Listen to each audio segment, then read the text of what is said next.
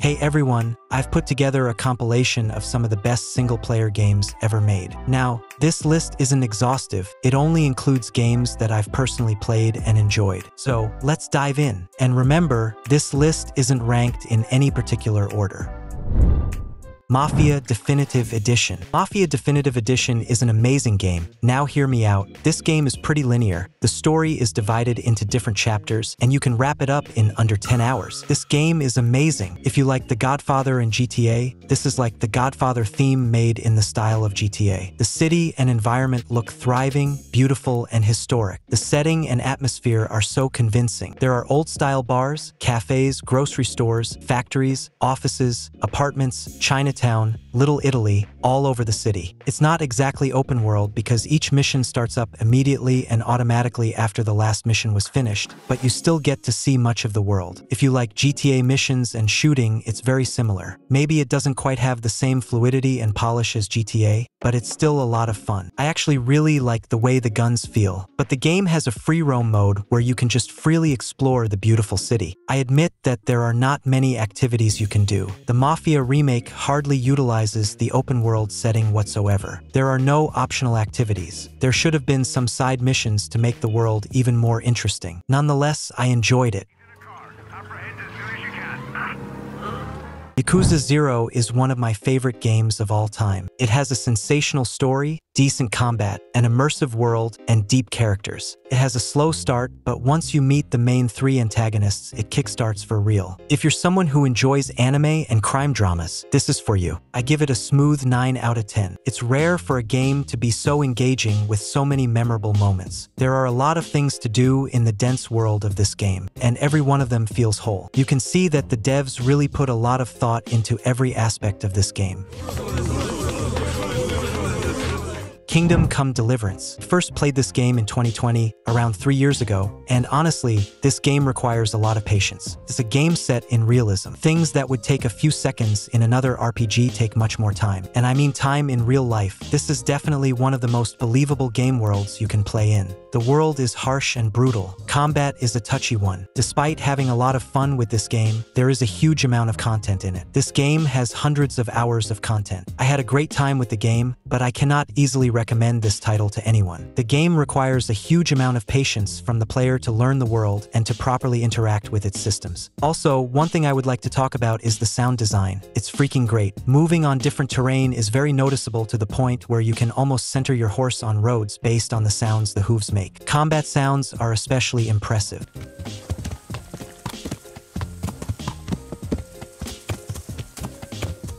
Red Faction Guerrilla still holds up as one of the best open-world destruction games. I have nothing to argue here. It's a dumb fun game which lacks in many areas, but all of these have the counter-argument that you can destroy things the whole time in a way that hasn't really been matched. I think all the Red Faction games have similar pros and cons. The others are all linear shooters rather than open world. Sometimes I would just run around with the sledgehammer and destroy stuff in different ways to watch it collapse. Even to this day, this game has no other competitors. I've seen about one that had better destruction, but it had zero combat You can engage in quick gameplay when you have a limited amount of time. The game is basically an open world with main missions and side missions. There is no order that each mission needs to follow. I like how sometimes the objective is not to kill all of the enemies in a particular location, but to create diversions that allow you to get the mission done. It's a must-own game if you love destruction and its physics, with a decent open world filled with repetitive yet fun activities. Mad Max. This game is criminally underrated. I'm not saying it's a masterpiece, but the world, ambience, and overall feel are great. Games that tie in with films are rarely good, but Mad Max is certainly an exception. The core gameplay loop sees you constantly exploring and engaging in incredibly satisfying vehicular and hand-to-hand -hand combat. Upgrading your car and Max adds a real sense of progression to the game and gives you a reason to wander the wasteland. While the story isn't great, the moment-to-moment -moment gameplay and the stunning scenery are more than enough reasons to pick this game up. It even mocks players for getting into cars the wrong way. This is one of the few open world games where I almost completely ignored the side content. It was so repetitive, and I was easily able to complete the main story without needing to engage much with the side content, which also made it feel kind of pointless. But notable are those awesome sandstorms, coming down like the hand of God to smite you if you can't get to a safe place in time. I loved the adrenaline. However, they are actually also a playable event, and if you're bold, quite survivable and even useful. Another nice detail, the shape of the terrain actually matters here, just like it would in real life.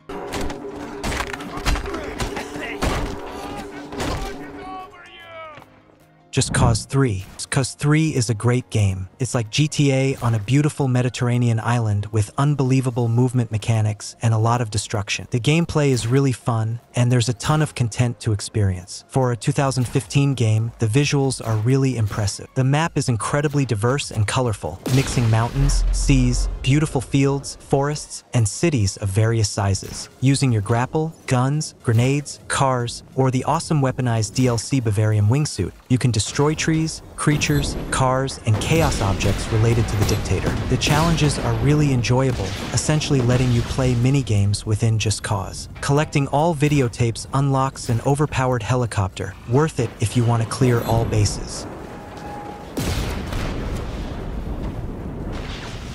Mafia 2. This game has so much action and amazing story, loved playing in the 1940s and 1950s, and I love the soundtrack. The characters in Mafia 1 were great, but in Mafia 2, they are amazing. The voice acting is superb, with a cast of characters that are interesting as well as memorable. There are many fair arguments about how this game is flawed. However, you can see the foundations of a quality game being attempted. The story and world building are fantastic, consisting of elements from both The Goodfellas and The Godfather. Look, I understand that my perspective is highly biased and I may be looking through rose-colored glasses about the game, but I do think that it is a game that is criminally underappreciated. Mafia 2 is easily the best game in the entire franchise. It might even be one of the greatest open-world games ever made. The attention to detail is spot on, the way you can go to stores and buy stuff right from the shelf before Red Dead Redemption 2 ever did it, the pricing being accurate to the time, and the story is great, but so was Mafia 1 and 3. If you're looking for a story-driven open-world game, just go for it. They want us to give him a message before we do it. Here, here it is. Sleeping Dogs. Sleeping Dogs is very underrated open world game. The game needs more recognition. I hate how people always label crime open world games to be GTA clones, when some games are different. It's really well executed. Once you get a grip on it primarily being a melee combat game, and the skill trees, things get very fun. There's heaps in it for completionists, but not an overwhelming amount for people who just want the main story experience. A GTA clone that, in my humble opinion, is actually better than GTA, combined with RPG elements of grinding to level up your character. An immersive, gorgeous-looking world with polished graphics that almost perfectly replicates Hong Kong, a great storyline that kept me hooked, fun and challenging combat system, and just all round a fantastic game. If you're a fan of GTA and looking for something to play, I implore you to pick this one up.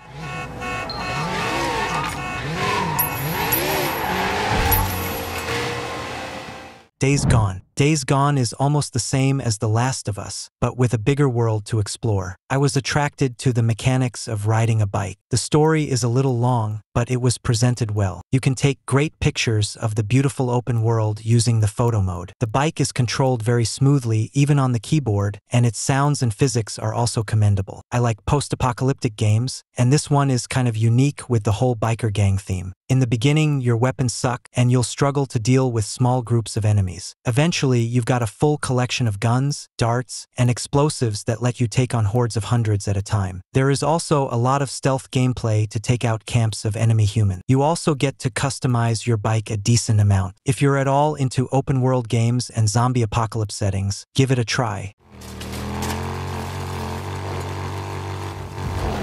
Bully. Now, let's talk about a game that can be called GTA School or GTA Kids, Rockstar's title Bully which hit the scene back in 2006 and is still considered one of the company's best releases, despite its rough edges. Bully's school and town might be small, but they're packed with so much stuff. You'll find some of Rockstar's quirkiest NPCs hanging out in every nook and cranny, offering up some of the weirdest and most wonderful side quests you've ever seen. Despite its compact size, the game world feels totally alive. Whether you're wandering around the boarding school or exploring the town, you'll hear kids chatting, arguing, and going about their business. They even change up their routines based on the time of day.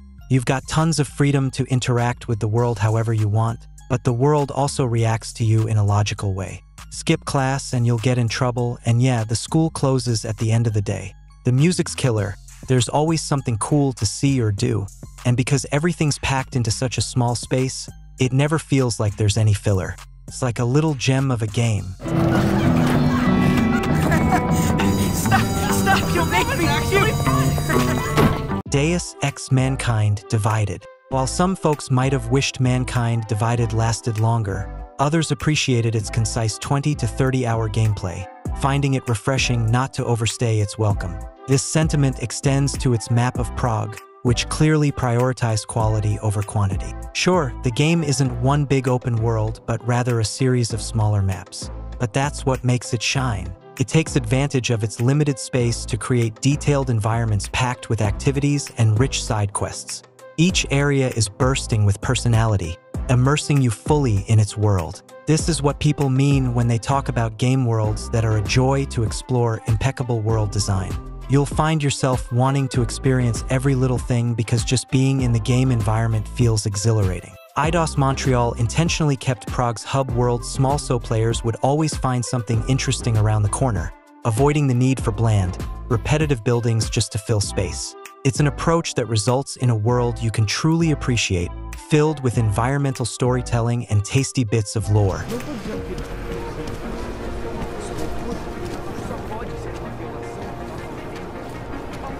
Dishonored series.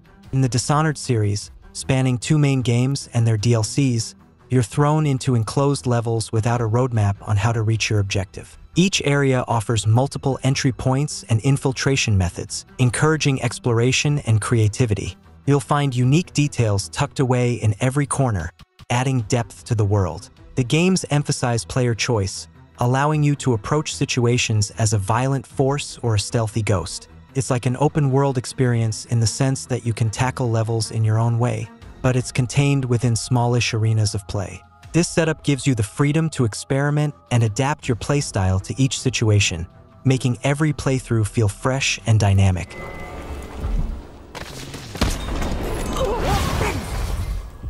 Demon's Souls. This game is an absolute classic with next-gen graphics.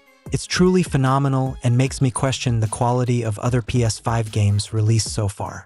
Bluepoint did an outstanding job, and I hope they tackle remakes of Dark Souls 1 and Bloodborne next. Demon's Souls remains one of the most visually stunning games to date, even nearly four years after its release. Its graphics fully utilize the capabilities of the PS5. Regarding the gameplay, Demon's Souls is a faithful remake of From Software's revered classic, enhanced with modern features to keep pace with contemporary gaming. You will encounter a challenging yet gratifying action RPG experience, complete with formidable bosses to conquer and intricate dungeons to navigate. If you're familiar with the Souls series, Demon Souls serves as its origin, featuring many familiar mechanics that have since become genre standards.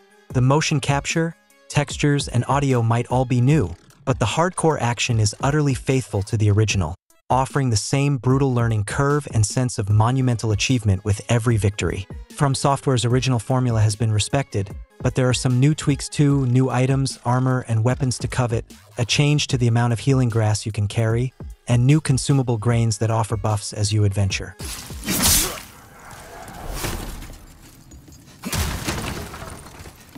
Horizon Forbidden West the first game introduced us to Aloy and her quest to save the world from deranged machines. And in Forbidden West, her journey continues as she seeks to restore the biosphere. If you're in search of the ultimate PS5 game offering an open world, narrative driven adventure, Horizon Forbidden West is the perfect choice. Building upon the success of Horizon Zero Dawn on PS4, Aloy's latest journey is visually stunning and brimming with thrilling robot dinosaur encounters. While some may argue that it doesn't deviate significantly from Zero Dawn or introduce groundbreaking features, Forbidden West undeniably stands out as one of the finest experiences available on PS5. And don't overlook the side quests. They offer some of the most engaging gameplay I've encountered on PS5 or any other platform in recent years. It's delightful to see some classic machines return, bringing back memories, alongside a host of new machines that took me by surprise. The upgraded skill tree in Forbidden West offers a plethora of new options to enhance Aloy's abilities, making her stronger for the challenges ahead. Discovering new weapons in various settlements is thrilling. Progressing through the game means finding even better weapons, giving me the upper hand against tougher enemies. I highly recommend this game to anyone looking to get immersed in a deep game world for over 30 hours. Star Wars Jedi Survivor after spending over 60 hours diving into every aspect of Jedi Survivor, I can confidently say it lives up to my expectations as a big fan of its predecessor. I'd rate it a solid 10 out of 10. I know it had some issues at the launch, but it's a great game. Visually, Jedi Survivor is stunning. Just the like Fallen Order, the attention to detail is incredible, pulling me even deeper into the Star Wars universe. Each planet has its own vibe, making exploration a real treat. Gameplay-wise, Survivor isn't drastically different from the first game, but there are some nice improvements, like expanded combat skills and perks. And bringing over Cal's abilities from the first game was a smart move, making movement feel smooth and consistent. Plus, being able to fast travel between meditation points makes getting around a lot easier, even though traveling between planets can still take a while, especially if you're a completionist. And while there's more to do off the beaten path, a lot of the optional stuff just kind of happens naturally as you play, which is a nice touch. The story is definitely worth experiencing. It's a bit predictable at times, but it fits really well with the overall vibe of the game. Personally, I preferred the darker tone of the first game, but Survivor still has a lot to offer. And while the ending left me wanting a bit more, it wraps up the character development nicely. I pretty much bought a new console just to play this game, and I picked it up at full price right after it came out. And honestly, I think it's been worth every penny. So I'd say give it a shot. Meager. God of War Ragnarok. The expectations and the bar for God of War Ragnarok was so high and almost impossible to reach because God of War 2018 ended up being one of the greatest game of all time and sequels of projects historically ends up being a bit toned down but it's safe to say that gave the series a new height with this one. They did it so well. The story, graphics, game mechanics, dialogues, character development, music, twists and turns, and so many more things makes this game truly the best God of War game of them all.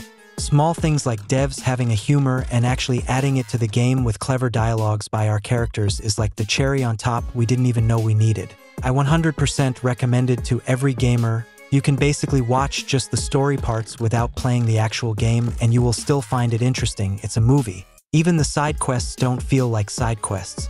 They legit enhance a character and their respective background in such a brilliant way that you enjoy doing them. I like how they focused on other characters as well. They definitely needed some screen time. You need to experience both God of War 2018 and Ragnarok to have this once in a lifetime of experience.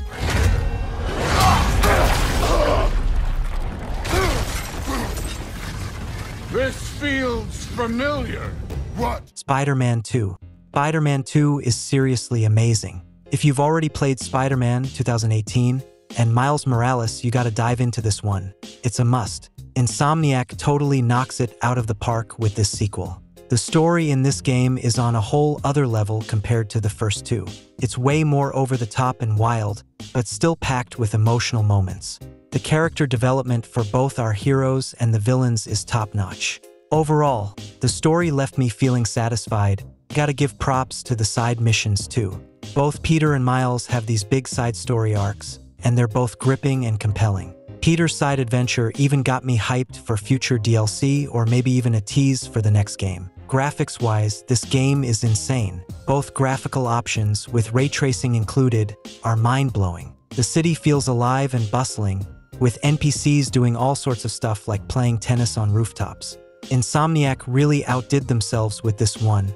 The combat is super fun too. It's a bit simpler this time around, but way more action-packed with all the new abilities. They throw more enemies at you, but the new abilities help with crowd control. They streamlined the gadgets, which I think was a smart move, but I do miss some of the gadgets from the first game. The only minor downsides was playing as MJ is still not my favorite thing, but it's more bearable in this installment. Overall, this is a great game.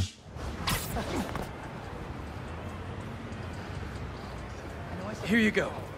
And now you're in much better hands. Thanks again. You've really earned how cool that costume is. Ratchet and Clank Rift Apart. Everything about the game is perfect. Each weapon is an absolute blast. combat is chaotic, but always fair and extremely well paced. The dialogue is witty and laugh out loud funny in certain moments.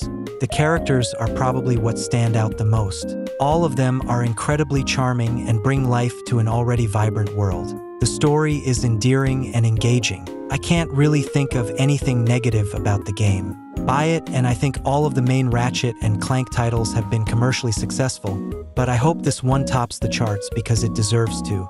Hopefully, they'll make another one.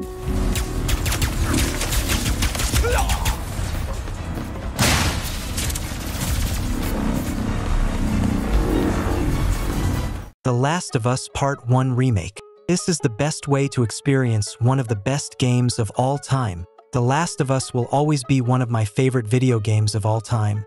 I think the game was very close to perfect, and this remake allows the game to become even closer to being perfect. In 2013, Naughty Dog was limited by the technology of the time on PS3, but now with this PS5 remake, they were able to fully reach their original vision for The Last of Us 1. The remake shows what The Last of Us would have been like if it released in 2022 instead of 2013, and it's beautiful. The added accessibility options are incredible as they allow more players the ability to play this game, because some people might not have been able to play the original game due to the lack of accessibility options at the time, so this remake definitely justifies its existence for many reasons. The new face models of characters are much better, detailed, and looks lifelike. Also, the haptic feedback and adaptive triggers are awesome, they definitely add more immersion to the game. Same with the 3D audio.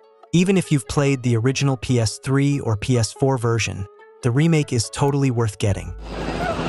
Almost there. They're getting closer. Uncharted Legacy of Thieves Collection. Uncharted Legacy of Thieves Collection includes the two games, Uncharted 4 A Thief's End and Uncharted Lost Legacy, both games are masterpiece. With this remaster, you can play the game on native 4K on your PS5, but it isn't much of a jump in graphics from the original PS4 release like we saw in The Last of Us.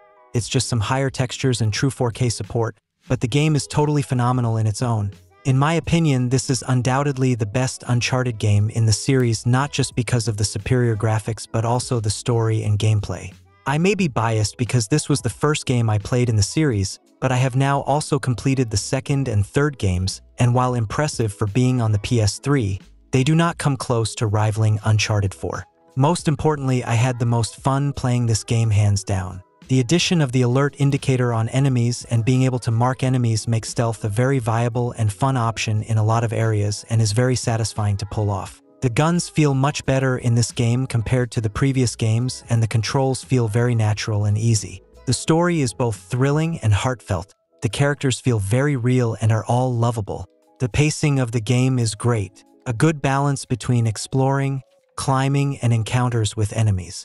The puzzles are quite simple and straightforward but feel fun. There are some epic set pieces but that are still grounded in reality. Some sequences really makes this feel like playing a very good action-adventure film. From beginning to end this is an absolute joy to play. Would highly recommend this to anyone.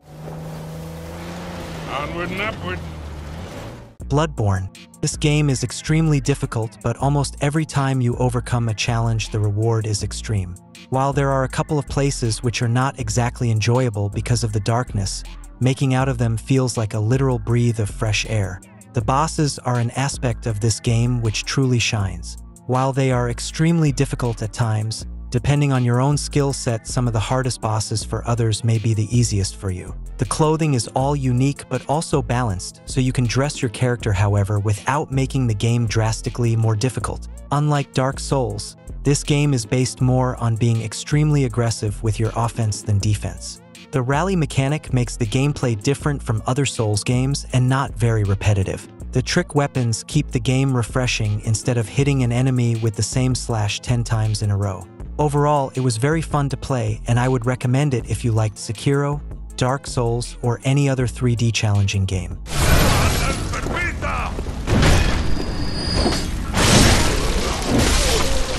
A Plague Tale Requiem. After playing the first game in 2019 and finding the second game, I'm amazed at how far the studio has come in comparison to the first game. The graphics, the gameplay, voice acting, the music score, and wow, that storyline. I've never been so gripped and emotionally invested in a game story in a long while. I'm beyond impressed. The creators did a magnificent job creating a magnificent storyline and impeccable characters. The angst, trauma, and heartbreak I experienced in one game alone is a testament to the dedication they placed in this masterpiece.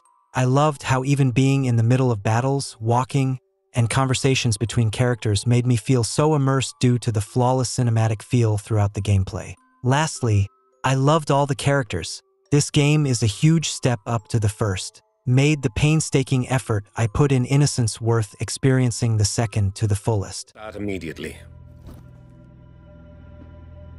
I will need silence. Mother, I'll handle it. Yakuza like a dragon infinite wealth. I can say with full confidence that this is a quality Yakuza entry and is one of the better ones overall. RGG has refined the combat and gameplay from the previous entry on so many levels, it's as if they addressed every single one of my complaints with the game, and I have personally enjoyed my time with this game very much. It's hard to believe I'd be able to enjoy Yakuza in turn-based form, but it has genuinely surprised me in a very good way. Hawaii as a setting is visually stunning and is an overall nice new location to explore. Though frankly I can't say I was the biggest fan of hearing NPCs speaking English while exploring the island paradise, it kind of felt uncanny in its own way to play this franchise in a foreign land where the main protag and his party almost never speak the local language. Also, the way some Japanese-speaking characters use an entirely different voice actor for their occasional English lines threw me off. The class system adds a lot of variety and allows for some impressive builds that lets you tailor your team to your liking and I enjoyed playing around with it a lot. The story was pretty good overall. The game heavily relies on callbacks and references to previous Yakuza games to the point where it's highly discouraged that you play this as your first entry into the franchise. The game has a whole mechanic dedicated to memories of previous games. For people who made it this far into the franchise, however, it's a lot of fan service for sure and I welcome it. For a turn-based game, RGG managed to pull an actual fun experience after going at it a second time and fixed many of Like a Dragon's shortcomings and design flaws, and I love this game for it.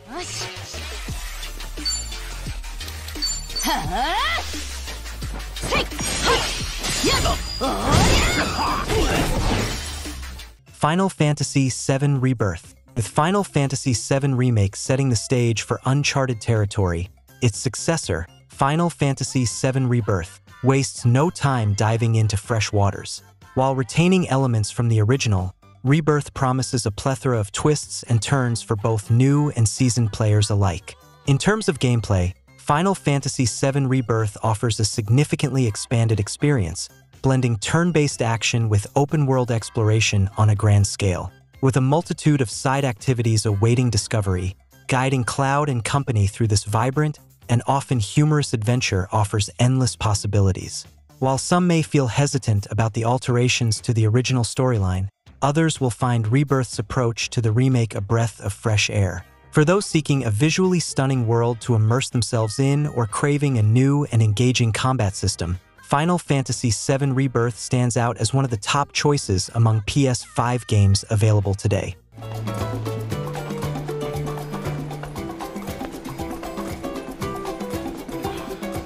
Returnal.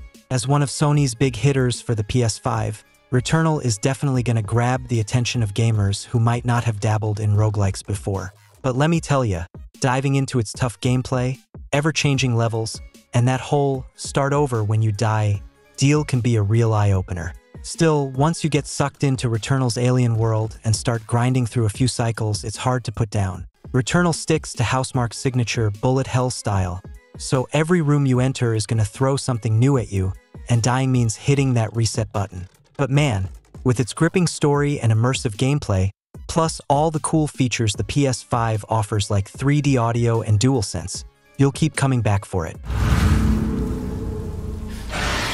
Encountered scavenger fauna.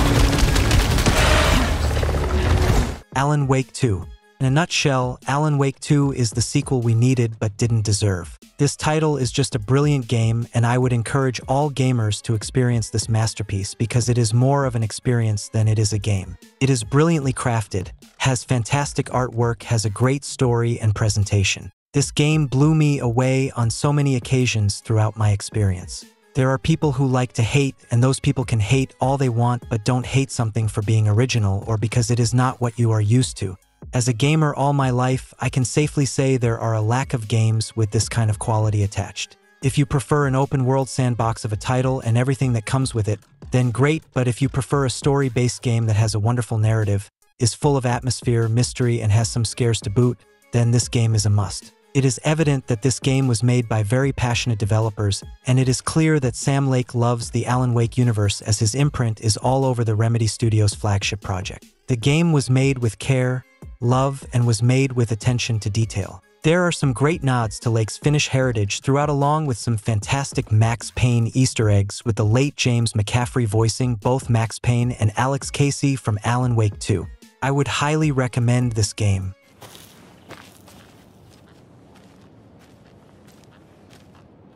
Resident Evil 4. I gotta admit, when I heard they were remaking Resident Evil 4, I was skeptical. I mean, how do you improve on a game that's already considered a masterpiece, right?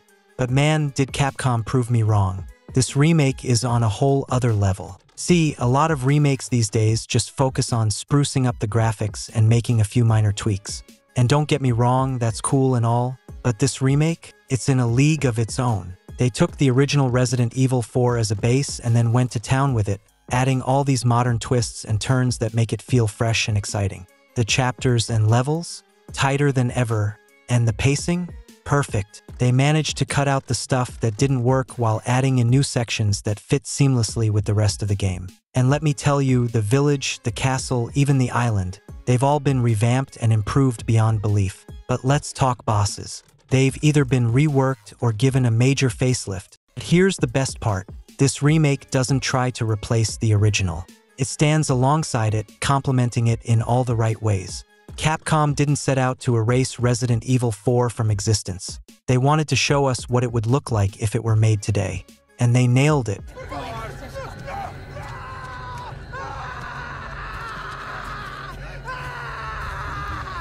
Devil May Cry 5 one of the best games I have played on the PS5. The combat is so fast-paced and over the top. Takes some time to master, but it's worth a try. The characters have also given enough time to shine. The gameplay is so balanced and damn satisfying. The boss fights are made well, and overall this game is worth your money. Go to hell! Ghost of Tsushima Ghost of Tsushima was already a breathtaking experience on the PlayStation 4, but with the director's cut on the PS5, it reaches new heights of visual and gameplay excellence. Playing as Samurai Jin Sakai feels even more immersive and exhilarating, especially with the enhanced performance and stunning 4K visuals that bring Tsushima's landscapes to life in vibrant detail. The addition of features like 3D audio and full Japanese lip sync further enrich the experience immersing players even deeper into the world of feudal Japan. But perhaps the most exciting addition is the Iki Island story expansion, which takes players to a new and mysterious setting filled with supernatural threats. It's a substantial addition that feels like a mini-sequel in its own right, offering hours of additional gameplay and story content that seamlessly integrates with the main campaign. For fans of Ghost of Tsushima, the director's cut is more than just a visual upgrade. It's a chance to dive back into the world they love and embark on a new adventure that expands upon the original game in meaningful ways. Whether you're a newcomer or a returning player, this enhanced version of Ghost of Tsushima offers an unforgettable journey through feudal Japan that shouldn't be missed.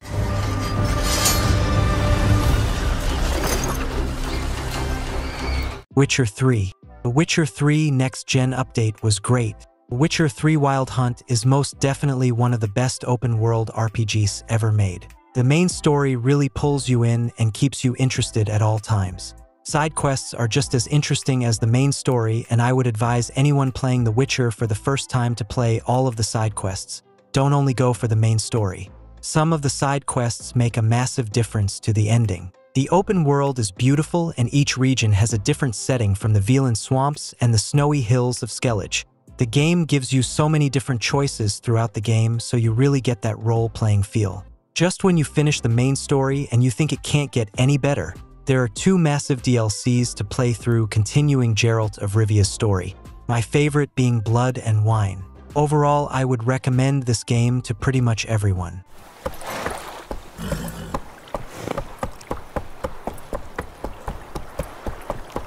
Baldur's Gate 3 Baldur's Gate 3 is like living out your wildest Dungeons and Dragons adventure, but on your computer or console. It's got everything you'd want in a fantasy game. You can even play with your friends. The coolest thing about Baldur's Gate 3 is that it feels just like playing Dungeons and Dragons with your buddies. You've got a dungeon master guiding the story, and every choice you make can change how things play out. Plus, you can team up with your pals for even more fun, exploring ancient ruins, fighting big battles, and solving mysteries, Baldur's Gate 3 has it all. It's like stepping into a whole new world filled with magic and excitement. If you're a fan of Dungeons and Dragons or just love a good RPG, Baldur's Gate 3 is a must-play. It's an epic adventure that'll keep you hooked from start to finish. The console appears dormant. Elden Ring.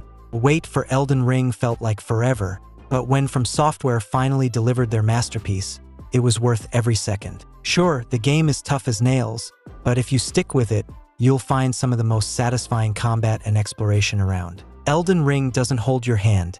It throws you into massive boss fights and a sprawling world without mercy. But that's what makes it so special. Every victory feels earned, every discovery is exciting, and every defeat just pushes you to try again. It's no wonder Elden Ring snagged a perfect 10 out of 10 from gamers and took home the Game of the Year award. It's a game that demands your attention and rewards your perseverance, and it's easily one of the best experiences you can have in gaming. Batman Arkham Knight. The thing that always got me with Batman Arkham Knight was the smallest details in the smallest of places. Seriously, you could wander into the tiniest alleyway and find it packed with posters, textures, and little touches that most people would never even notice. But they're still there, adding layers of immersion that never fail to impress. Now, I've got to break it to you, Batman Arkham Knight hit the scene back in 2015. Yeah, it's starting to show its age a bit, but here's the kicker. It still feels fresh as ever. I mean, seriously, am I the only one who feels like this game just dropped yesterday? Anyway, visually speaking, it's holding up like a champ. The level of detail is still off the charts, stacking up nicely against even the latest and greatest. They really went all out with the visuals in this one. From the muscular characters to the rain-soaked streets, every inch of Gotham City is dripping with detail. And let's talk about those costumes. They're like works of art, with stitching, buckles, and all sorts of little intricacies that make each one unique. And you know what? It works. Normally, that kind of hyper-stylized design might feel a bit over the top, but here it's perfect. Everything just clicks, especially with all the shiny, reflective surfaces and the perpetual rain adding to the atmosphere. Sure, it might not be pushing the boundaries of 8K resolution or ray tracing, but come on, just look at it. Whether you're playing on console or PC, Batman Arkham Knight still looks damn good. Trust me, I've replayed it many times, and it never fails to impress no matter what platform you're on. Infamous Second Son. This game is an absolute blast no matter which path you choose, hero or villain. Released back in 2014, it's impressive how it still holds up with its amazing graphics and gameplay. But what really sets this game apart is its emotional depth. It's a roller coaster of emotion, with moments of comedy, action, friendship, and betrayal all woven together seamlessly. It's the ultimate power fantasy, allowing you to unleash your wildest abilities and wreak havoc on your enemies. Want to take down oppressive government agents with scalding smoke? You got it. How about zipping around at the speed of light? Yep, that's on the table too. And let's not forget about the epic swordplay. Pulling a sword out of a freaking TV and going full-on explosive armature? Absolutely epic. Now, I'll be honest, the concrete power might not be the most thrilling option. But hey, each power has its own strengths and super attacks that pack a serious punch, except for concrete, which unfortunately gets overshadowed towards the end of the game. But despite any shortcomings, the powers in this game are strong and versatile, offering endless possibilities for creative gameplay. And let's face it, there's something undeniably satisfying about unleashing devastating super attacks and watching your enemies crumble before you.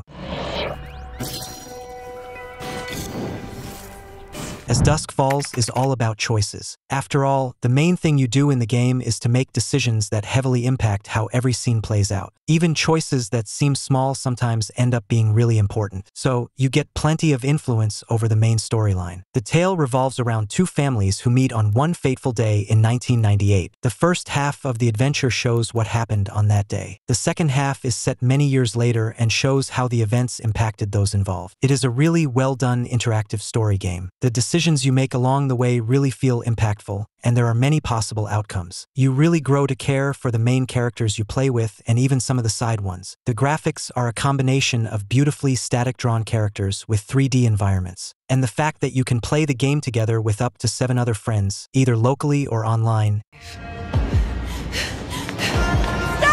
Heavy Rain is an interactive narrative adventure that revolves around a serial killer called the Origami Killer.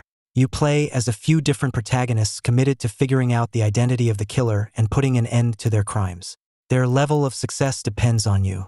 Your choices and button pressing skills impact how each protagonist's story plays out. As a result, there are several different endings you can get. The game is really well done, and I loved the characters in it, even the bad guy. The game made me really think about what I would do if I had to make the same choices. I highly recommend this game if you love a good storyline and a murder mystery. This game is really unique. The story is touching, characters are likable, graphics are okay. Well, this is a 15-year-old game and voice acting is top-notch. I will not spoil this game for you, but I'm just going to say it has 17 endings, which is mind-blowing. I want every available man to find Ethan Mars. If he moves, The Wolf Among Us was the first ever Telltale game I played. The game's pacing, writing, atmosphere, and general mythos are all top-notch. All of the characters are interesting, and it's honestly fun figuring out and identifying which folklore the character originates from. If you like mysteries, violent noir fiction, detectives, and their atmosphere, this game is for you. It does not have much to offer in terms of gameplay being rather a simple point-and-click detective game at its core, but the visual design of this game is so beautiful, I have to say, this game has the best comic-style cell shading application I've seen in games so far. The music is so soothing and alluring, and the characters and story are so captivating that you will find yourself on a cliffhanger at the end of the first episode in no time, hungry for continuation. It is a mature story that takes place in a noir setting. The Wolf Among Us is a gritty take on various fairy tale characters that have somehow escaped into our world and are secretly living among us. No need to kick up a fuss. I'm looking at a three-foot toad. Telltale's The Walking Dead is more of a collection of games than a single one. This is because there are four seasons of this narrative adventure experience, along with a couple of spin-offs. The main seasons focus on young Clementine, who finds herself amid a zombie apocalypse. Her primary goal is simply to survive. To accomplish that, you need to make a litany of difficult decisions that impact her and the people around her. They don't all have a significant effect, but the biggest ones usually do. Though it feels more like an interactive story than an actual game, just like The Wolf Among Us, it still got me from the first minute. There is not much gameplay in it. You walk here and there and talk to other people, and every now and then you need to make choices. For most of them, there is a short time limit. There are a lot of likable and not so likable characters. Some people may argue that your choices don't actually matter, and I'd say they are not wrong, but they are not right either. The choices you make in the game may not have an impact on the end itself, but they will have an impact on how the story gets told to you. Will you become a respectable man, or will you be a pain in the arse throughout the entire game? The choice is yours. I want to build a fence. yeah. Beyond Two Souls is a must-play. Even now in 2024, 11 years after the first release, it's still up there with what modern story interactive-driven games have to offer us. What's special about it is the game's ability to keep you glued to the screen from start to end. A truly original story that, for the most part, is unpredictable and combines elements of suspense, drama, emotion, and action, often all at the same time. Some of the best and most fitting voice acting that syncs well with the scenes and cutscenes in the game, all tied together with a great soundtrack. This game is simply amazing. One of the best games I've ever played. Great portrayal of the main character and what she had to go through. The story is suspenseful. It's a very exciting game, with many possible endings, I should be flattered. Yeah, I'm gonna shake some hands, blend in, find some more quiet. Hitman, while not particularly thought of as a choice-based game, Hitman 3 is entirely dictated by how you decide to play. On every level, there are several ways to take down your targets, and some are very different from one another. For instance, in the Dartmoor mission, you can conduct an entire murder investigation, including talking to suspects and finding clues, and it's all completely optional. Plus, you're required to make a big choice at the end of the game. That's one big clue to look out for when it comes to the conclusion. There's even a secret ending to unlock, making for a total of three. Granted, you are still killing targets, but the maps throw in some cool moments like the murder mystery or the 10 targets you have to find on your own without any help from Diana.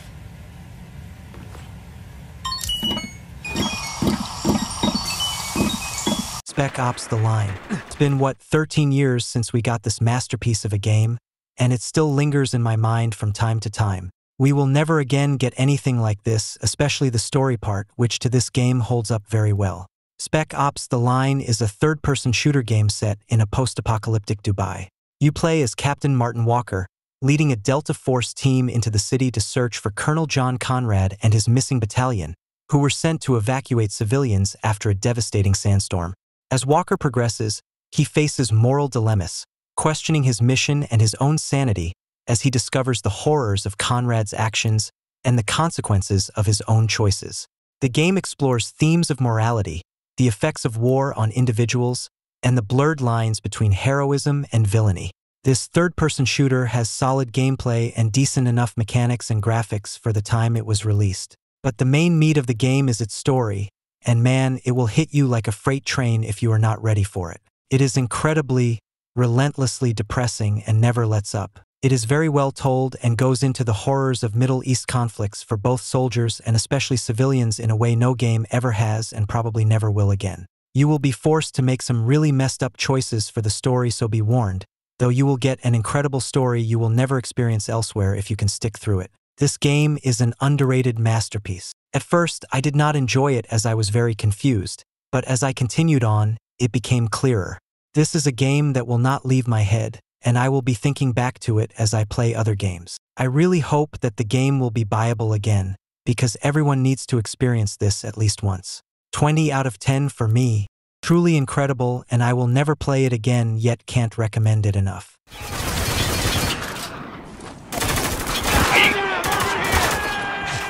The Order 1886. Although the game went through undue negative press before launch, largely due to claims of the game being only 5 hours, this is not really the case for a standard playthrough and is more representative of an early speedrun.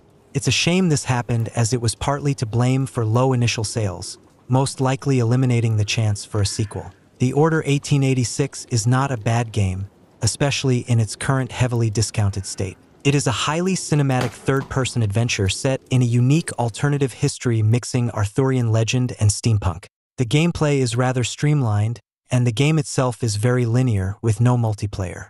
While this may turn some off as it doesn't hold much replay value, it is evident that all resources were put into laying the groundwork for a fleshed out universe and a superb level of fidelity so early in the PS4's lifecycle. The core gameplay loop is made up of third person combat, light exploration, and quick-time mechanics, as well as minigame mechanics such as lockpicking and the like. The Order 1886, a decade-old game, still looks better than most games. Released back in 2015 on the PS4, played this back when it came out and now again on PS5, but seriously, how does this game still look so good? Everyone at Ready at Dawn should be commended. I don't think another game since has matched the look of this. The film grain, depth of field, lens scratches, soft focus.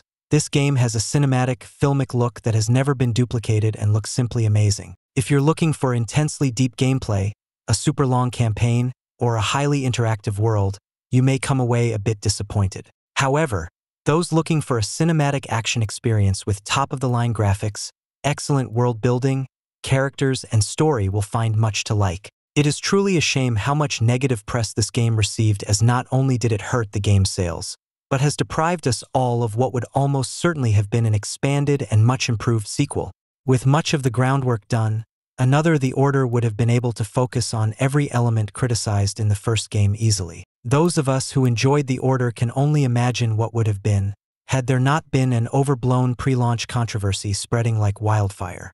I highly recommend anyone to at least give this game a fair shake and explore a universe we may likely never visit again. Is this the England we want? What must we do? Quantum Break. I am very surprised that the game didn't make more of a splash when it came out than it did. Remedy is an amazing developer as usual, but this game had some amazing things going for it. An actually coherent and interesting time travel story, tragic characters, twists, and overall kept me way more hooked than I thought.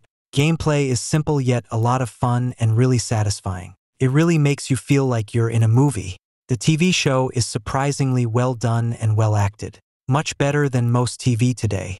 Although, I'm not sure I like the show being pushed in between levels. And the bad, the platforming sections sucked. The controls were floaty and didn't feel good. And there was no skill to them. So why do them? It was odd why they were even in the game. Rarely had to use your brain to figure it out either. They could have done some crazy puzzles with the time stuff but failed. Overall, a really solid game that I wish more people got to experience. Not perfect, but so much more polished and filled with passion than 80% of the games as service crap that we get nowadays. Plus, it tried something really unique by melding the TV show with games. It wasn't a perfect fit, but I give them credit for trying. Check the game out if you haven't yet. Metro Exodus. To be 100% honest, I didn't like Metro Exodus when I first tried it. It took me restarting the game at least five times to stick with it to the end. I think one reason for this was because I had literally just finished Metro Last Light. Going from a more level-based shooter to such a dense open world so soon was very jarring. So, I put Metro Exodus down for a few months. But when I did finally finish the game, Metro Exodus became my favorite of the trilogy. I think the devs did a fantastic job translating the gunplay of the original titles to a more open-world framework. The Metro game's signature, I think, is how weighty and tense combat feels in claustrophobic environments. Metro Exodus seemingly abandoned much of the claustrophobia by going open world, except not really. You're still going to find yourself in these moments where you're surrounded on all sides by monsters and having to tiptoe around to avoid being torn to shreds and you're still having intense shootouts. I played the latest upgraded edition on PC, maxed out everything for the most part. The game is a beast, a visual showcase. My only complaint is not getting a lot of the forest environment you encounter in the second to last area. My favorite section of the game is actually the last metro section. There's something very haunting about seeing those old Russia apartment buildings covered in sheer ice and snow, wondering what could be staring down at you through those black windows and then having to crawl through those subways and sewers. That last section was truly the signature on this love letter of a game. A 10 out of 10 masterpiece.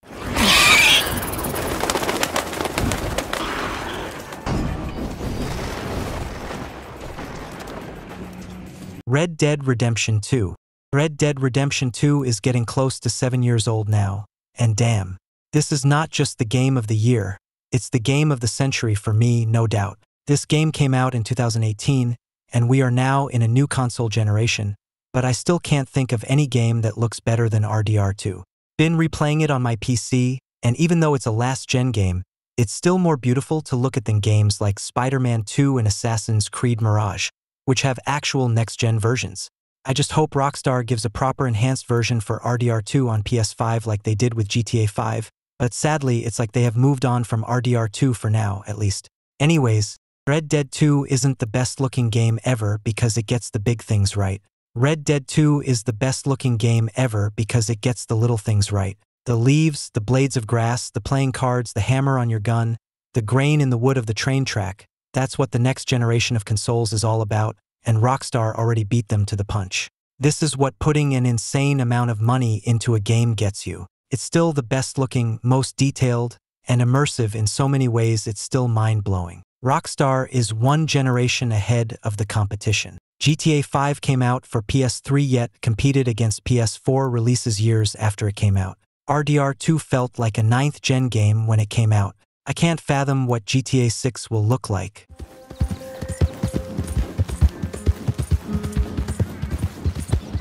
That's all. Subscribe if you love these games.